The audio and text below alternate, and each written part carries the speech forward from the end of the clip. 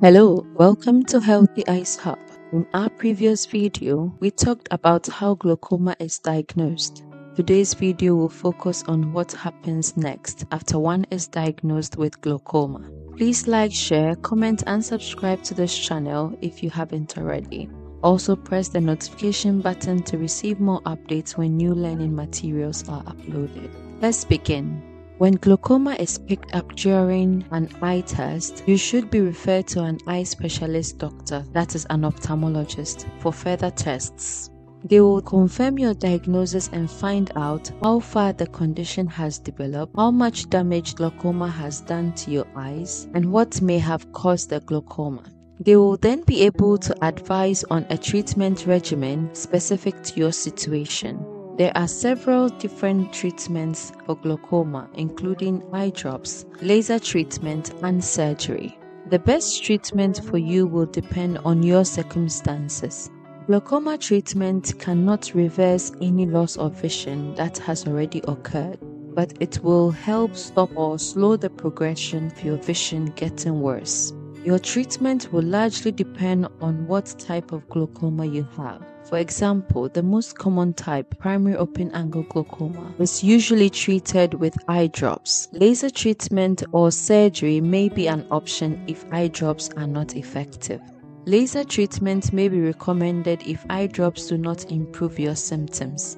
This is where a high energy beam of light is carefully aimed at parts of your eye to stop fluid building up inside it. Laser treatment is usually carried out while you're awake. Local anesthetic drops are used to numb your eyes, yet you may feel a brief twinge of pain or heat during the procedure. You may still need to use eye drops after having laser treatment. Surgery may be recommended in rare cases where treatments with eye drops or laser treatment have not been effective. The most common type of surgery for glaucoma is called trabeculectomy. It involves creating a new pathway in the eyes to allow fluid to drain more easily. Glaucoma surgery may be carried out under local anesthesia while you're awake or general anesthesia while you're asleep. Most people will not need to use eye drops anymore after trabeculectomy, and you should not be in a lot of pain after surgery. Your eye doctor should discuss which type of surgery they recommend, as well as any risks and benefits before you decide whether to go ahead with the procedure. In some cases, your ophthalmologist will continue to treat you.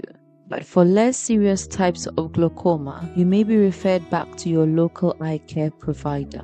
Remember that glaucoma is a lifelong condition Hence, you will be advised to attend regular follow up appointments to monitor your eyes and check that treatment is working for the rest of your lifespan.